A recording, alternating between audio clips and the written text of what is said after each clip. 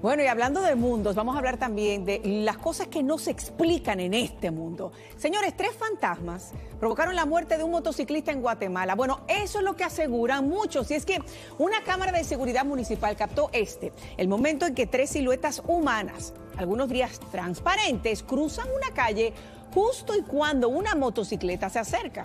De hecho, parece que el conductor logra verlas, por lo que hace una maniobra y termina estrellándose fatalmente.